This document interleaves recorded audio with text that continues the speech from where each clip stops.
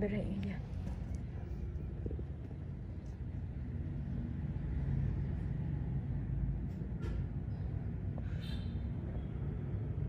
Đụng như giờ xí, đụng như tem xí.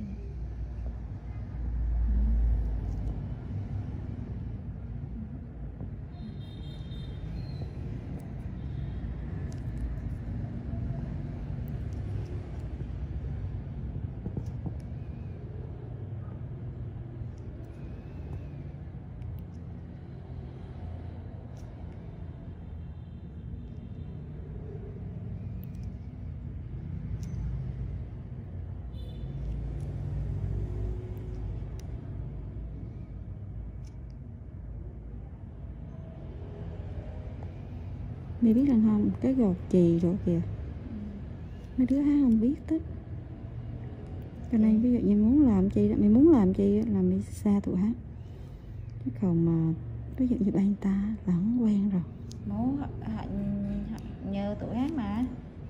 Ví dụ con mới nói là chị sao đang làm làm đứa làm nhưng mà tụi hát không biết để làm cái công việc đó. Xa ví dụ chị tụi hát sẽ không biết để làm năng là chị cũng ngồi ghép ảnh ghép đồ rồi đó đó. Mà lúc đông quá thì ra mà bị biểu ghép ảnh được không lúc rảnh ghép chứ còn lúc đông đừng ghép. Phải phụ cho họ lúc lúc lúc rảnh lúc đông ai biểu ghép. Rồi chứ. Cái lúc rảnh thì ghép thôi chứ còn Trời biết mua cái máy nữa mua đây này này chị sợ. Mấy giờ xuống rồi Màu cá lòng quá cực luôn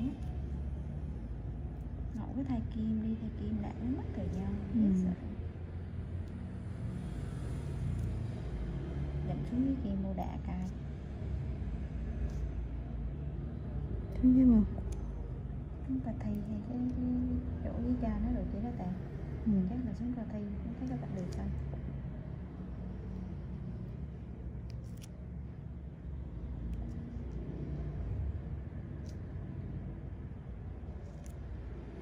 Vừa rồi chị Thảo đã đạt cái máy Cái loại này là máy cũ Tại vì như bạn nói là thiếu mình kiện tùm lum thôi đó.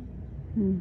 nhận gì rồi hả Ý là mình đâu có nghĩ là máy cũ Chỉ có máy cũ mới thiếu rồi Chứ máy Ừ.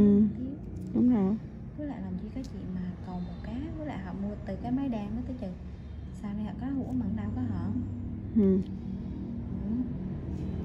họ lần là mà không có hòn kiểu nó cầu một cá thì họ đó là chắc cũng đứa mua đó là cái máy à, mà mày đang mua mà không ra đó hả ừ. Ý là mua bả thôi không có thôi chứ đại ừ. nhưng không nói về sản phẩm